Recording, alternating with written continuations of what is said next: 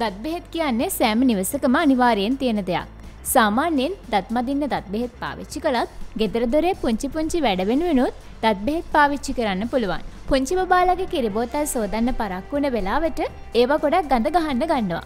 ඒවගේම ගමනක් බිමනක් ගියහම කිරිබෝතලේ සෝදන්න තරම් පහසුකම් අපි ගාබ නැහැ. කිරිබෝතලයට දත් බෙහෙට්ටිකක් හා වතුර ටිකක් දමලා බෝතලය හොඳින් සෝදන්න. හරිම ඉක්මනින් කිරිබෝතලය සුද්ධ කරගන්න ඒකෙන් පුළුවන්. අඩියල්ලපු භාජනවලට දත් බෙහෙට්ටිකක් දමා හොඳින් අතුල්ලන්න. ටික වෙලාවකින් භාජනය හොඳින් පිරිසිදු කරගන්න පුළුවන්. මුහුණේ තියෙන වයිඩ් හෙඩ්ස් ලේසියෙන් නිවත් කරන්න නම් දත් බෙහෙත් දාපු පුංචි බුරුස්සකින් හරි රෙදි කෑල්ලකින් හරි නහය අතුල්ලන්න. වියලි තොල් මත දත් බෙහෙත් ස්වල්පයක් අතුල්ලා ගැනීමෙන් දීත්තිමත් දෙතලක් හිමි කරගන්න පුළුවන්. ගෙදරදොරේදී සිදුවෙන පුංචි පුංචි පිලිස්සීම් වලට දත් බෙහෙත් ස්වල්පයක් අතුල්ලන්න. තුවාලවල තියෙන දැවිල්ල සමනය කරගන්න ඒක ලොකු උදව්වක්.